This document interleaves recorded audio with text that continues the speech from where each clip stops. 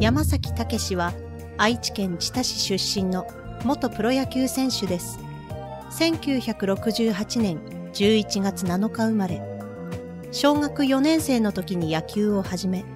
高校は工藤公康や一郎を輩出した野球の名門、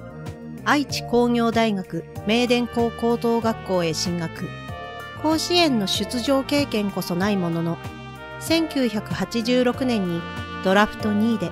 中日ドラゴンズに入団。その後、オリックスブルーウェーブ、楽天ゴールデンイーグルス、2012年からは古巣の中日ドラゴンズでプレーしました。豪快な風貌や性格、名前がたけしであることなどからジャイアンの愛称で親しまれ、楽天在籍時には仲のいいアーティスト、ダイヤモンドユカイ氏から応援歌、ベイブなたけしをプレゼントされています。中日在籍時の1996年と楽天在籍時の2007年に本塁打王を獲得。セ・パ両リーグで本塁打王を達成したのは史上3人目という快挙でした。そんな華々しい記録を持つ山崎ですが、プロ野球人生は決して順風満帆とは言えず、レギュラーに定着するまでに10年かかるという苦労人です。また、信念を反固にされるような物事にぶち当たれば、上司であろうと、組織であろうと、ひるまず自己主張をした。結果、一度のトレードに二度の戦力外通告という挫折も味わいました。しかし、2005年から参加した楽天で、プロ野球界の名将、野村克也監督と出会い、再生。2007年に39歳で43本塁打、41歳で39本塁打を放つなど、35歳を過ぎてから生涯通算本塁打403本の約半分となる196本を放ち、中年の星として多くの支持を集めました。現在はスポーツコメンテーターや企業や学生向けの講演で講師をするなど多方面で活躍しています。山崎は落合博満が嫌い。落合博満はプロ野球ファンなら誰もが知っている3度の三冠王を達成したレジェンドです。実はその落合と山崎の間に確執があると言われています。この確執が明らかになったのは2010年に仙台で行われたトークショーでの山崎の発言がきっかけでした。トークショーで嫌いな先輩は誰ですか？というファンからの直球の質問にプロに入った時の2月の沖縄キャンプで同部屋になった人がロッテから5対1のトレードで来た大物と答え、ドラゴンズでも賛否両論ありますが、僕は嫌いです。と宣言しました。実際には4対1のトレードだったのですが、お客さんにはすぐにそれが落合のことだと分かったようです。山崎がトークショーで話した通り、山崎が中日に入団した1987年春季のキャンプでロッテから移籍してきた落合と相部屋になったそうです。プロになったばかりの山崎にとって落合は憧れのスター選手であり大先輩としていろいろ教えてもらえると期待で胸がいっぱいだったかもしれませんね。ところが実際は教えてもらうどころか落合は知り合いとお酒を飲んでばかりいて何も教えてもらえなかったそうです。山崎はお酒のおつまみを買いに行かされることもあったようですが、お釣りは返すように要求され、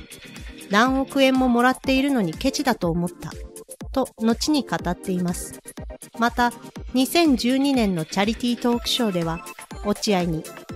若い時からずっといじめられていましたよ。僕と大宝さんは。と話しています。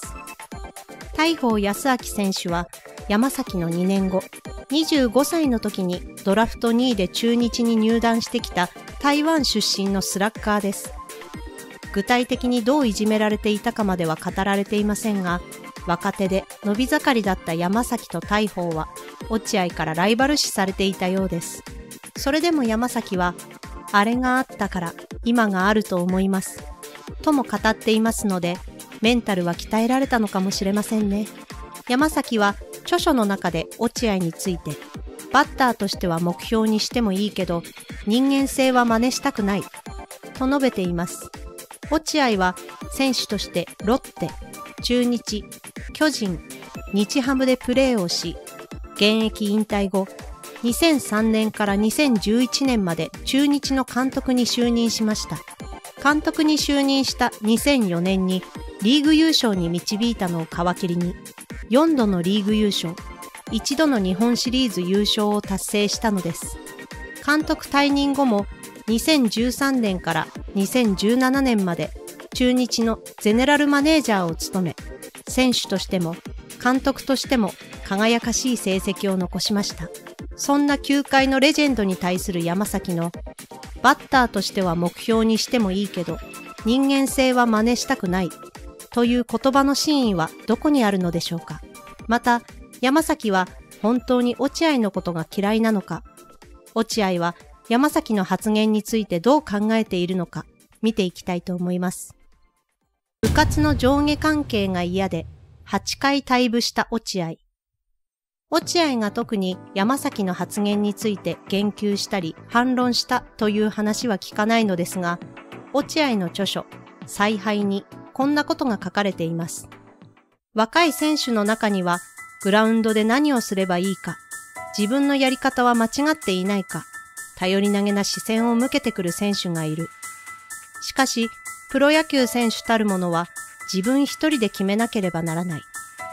選手のことはみんな可愛いけれど、バッターボックスに立った選手のもとへ行って、励ましの言葉をかけてやれるわけではない。孤独に勝たなければ勝負に勝てない。確かにルーキーだろうと、ベテランだろうと、バッターボックスに立ってしまえば自分一人で投手に向き合わなければなりません。落合は手取り足取り教えたり、頼られたりすることが若い選手にとって必ずしもプラスになるとは考えていないのかもしれません。球界のレジェンドである落合のことは、まず3度の三冠王から語られることが多いですが、落合のプロ野球選手になるまでの道のりは少し変わっています。小学校に入る前から遊びで野球を覚え、中学で野球部に入って投手で4番、故郷である南秋田郡の大会では1回戦で敗退したものの、地元紙に、街道1回戦で散ると大きく書かれたそうです。本人が、秋田で俺が一番うまかったと思うというくらい実力の片鱗はすでにありました。野球で県内のどの高校にも行けたそうですが、一番練習が楽そうという理由で秋田工業高等学校に進学しました。しかし、上級生が先輩というだけで下級生は言うことを聞かないといけないという上下関係に馴染めず、8回退部したという伝説があります。部活動に出ないどころか学校にも行かなくなり、いわゆる不登校だったとか。とはいえ、実力はあったので、出席日数が足りないから学校に来いと言われていくと、待ち構えていた先輩に部活に連れて行かれては試合に出ていました。先輩に絶対に服従するというのは体育会系の部活ではよくあることかもしれませんが、落合は村育ちで横のつながり、つまり仲間意識の強いコミュニティで育ったため、理不尽に思える上下関係に我慢できなかったようです。落合は進学した東洋大学でも肩と足を怪我したということもあり、半年で中退しており、他のプロ野球選手が経験してきたような先輩後輩という人間関係の中で過ごすことは少なかったと思われます。落合が山崎と相部屋になっても何も教えず、知り合いとお酒を飲んでいたというのも自分自身強い上下関係が苦手だったので、あえて若い山崎に干渉しなかったのかもしれませんね。後に著書、コーチング、言葉と信念の魔術では、手取り足取りは若い者をダメにする。日本では口を酸っぱくして教えられるのがいいコーチで、それができないのは何も仕事をしない悪いコーチと言われてしまう。と語っていて、若い選手の世話を焼きすぎることに疑問を投げかけていました。たくさんのバッターのいいところを盗んで完成させた、神主打法。バッティングにしてもそうです。現役時代、落合の打撃フォームは神主打法と呼ばれていましたが、これは見よう見真似で人がやっているのを見ながら完成させていったものだそうです。参考にした選手はかなりいて、一流バッターだけではなく、ファームにいる選手もいいところがあると参考にしていました。一軍が素晴らしいと言うけれど、一軍の選手でも真似していいバッターと真似しちゃいけないバッターがいる。そして、自分から聞きに行った選手はいない。と言います。いわゆる、見て盗むことを実践していました。見よう見真似でいいところだけを取って、神主打法と呼ばれる形になったのです。誰かにやれと言われたことをやるのではなく、自分で俺流のプレースタイルを築き上げたところが落合らしいですね。そんな落合にとってルーキーと相部屋になったからといって何か教えてやるという発想がそもそもなかったのかもしれません。また、落合も中日に来たばかりでチームの方針もわからないまままっさらな新人にアドバイスをするのもためらわれたのではないでしょうか。入団したばかりの18歳のルーキーからすでにスター選手だった落合に質問するというのも難しかったでしょう。想像するとなんだか二人とも気の毒な気がしました。義理人情の人、山崎武山崎は著書40代からの退化させない肉体、進化する精神の中でプロ野球人生を好き勝手やってきた。相当なやんちゃをやってきた、と振り返っています。納得がいかないことや、信念を反固にされるような物事にぶち当たると、上司であろうと、組織であろうと、ひるまず自己主張してきたそうです。先輩から生意気だとよく怒られたそうですが、目上の人間にもこびない自分を認めてくれたのか、最終的には可愛がってくれる先輩が多かった、と語っています。中日ドラゴンズは特に上下関係が厳しかったそうで、山崎は YouTube で、政治と一緒で派閥があり、先輩の許可がなければベンツも買えなかった。と振り返っています。山崎は小松達夫の派閥にいて、奥さんと一緒に小松の自宅でご飯を振る舞ってもらったりと、講師にわたり交流がありました。そんな小松にベンツに乗っているのがバレた時は、売れと言われたそうですが、売るのが嫌で別の車を買って乗るようにしていたとか。車どころか結婚する時も山崎が希望していた名古屋で一番格式のあるホテルで結婚式を挙げたいと言うと、10年早いとダメ出しされ、別のホテルで結婚式を挙げたそうです。他人からすると理不尽に思えますが、面倒見のいい小松を山崎は心から慕っていたようです。また、小松が引退を決めた日、山崎を食事に誘って引退を決意したことを最初に告げたというエピソードからは、厳しい上下関係のある中で、二人が強い絆を築いていたことが伺われます。山崎曰く、義理人情という言葉が大好きで、プロ野球選手となってからの27年間、それだけは裏切ったつもりはありません。これは先輩との上下関係に嫌気がさして野球部を何度も退部した落合とは対照的です。山崎は先輩からの理不尽な命令さえも楽しんでいたように思えます。スポーツの世界は弱肉強食。力なき者は去らなければならない厳しい戦場です。でも、その中において、義理人情、コミュニケーションを大事にし、常に人とのつながりを大事にしていれば、自分が逆境に立たされた時に助けてくれる人はたくさんいます。山崎はプロ野球選手として27年も現役を続けられたのは運があったからと言い、その運を手繰り寄せたのはまさに人とのつながり、義理人情だと言っています。もちろんそれは決して人に頼るとか甘えるということではないと思います。監督との喧嘩も辞さず、言いたいことを言う。それが災いして、戦力外通告やトレードされる一因になったかもしれませんが、そうした山崎の裏表のない正直な性格を愛する人もいたからこそ、27年の長きにわたって現役を続けられたのだと思います。それが、一匹狼的に己の技能を磨き上げていった落合と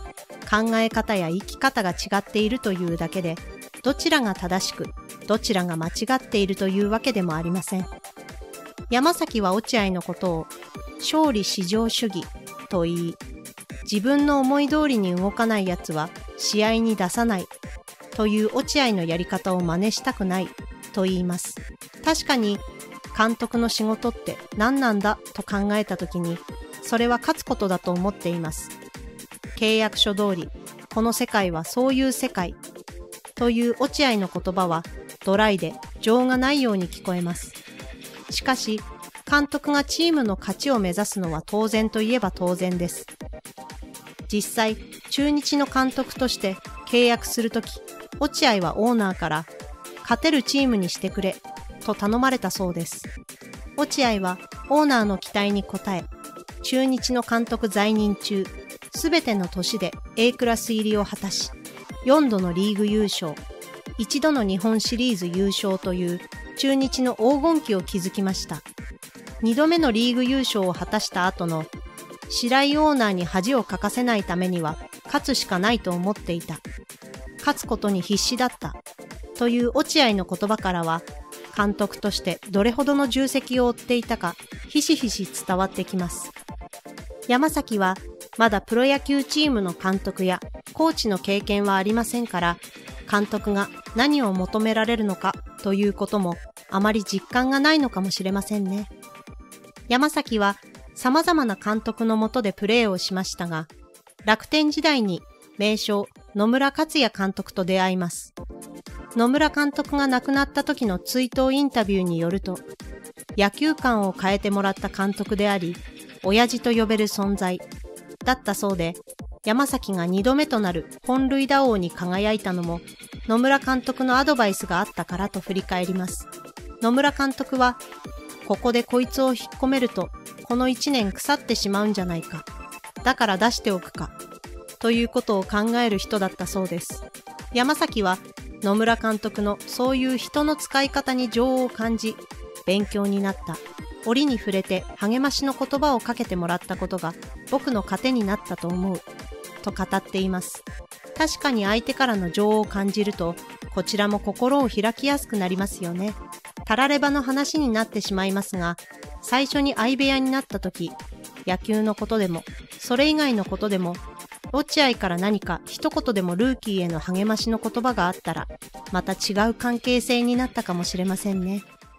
ファンの反応。山崎が問題の落合が嫌い発言をした動画では、まあ古くからのドラファンの人にも落合アレルギーを持つ人は多いだろうな。新人の山崎と当時の落合がキャンプで同部屋になるってことに驚いた。といった感想が寄せられていました。二人の確執について語られた動画では、癖がある二人だからこういう感じも仕方ないですよね。でも選手として、監督として、落合博光は超一流。一郎とニコニコして対談した落合を見ると、技術でバッサリ人を区別してるとこあるね。などのコメントがありました。ファンは二人の性格を知った上で冷静に受け止めているようです。二人の直接対決はある？落合は一時痩せてしまい、病気では？と心配された時もありましたが、現在もテレビのスポーツ番組をはじめ、様々なメディアやイベントへ出演し、元気に活躍しています。プライベートでは、アゲハチョウや亀を飼育したり、お花のお手入れをしたりと、最愛の妻である信子夫人と一緒に悠々自適に過ごしているようです。山崎は主にスポーツコメンテーターとして活動。また、現役時代、現場のチームリーダーとして中間管理的な立場で結果を出してきた経験や、ジャイアン流コミュニケーション術など、企業、学生向けの講演にも力を入れています。そんな山崎もインタビューで、いずれは必ずユニフォームを着て、後輩を育て、活気あふれる野球界を担っていきたい、と、現場復帰への意欲を見せています。曖昧な言葉で濁すのは嫌なので、はっきりと言っておきますよ。と念を押すところが率直な山崎らしいですね。いつか二人がメディアで、あるいはグラウンドで直接対決する日は来るのでしょうか。2人のレジェンドの今後の活動に注目していきましょう。今回の動画は以上です。このチャンネルでは、プロ野球に関する動画を今後も投稿していきますので、高評価とチャンネル登録をお願いいたします。それでは、また次の動画でお会いしましょう。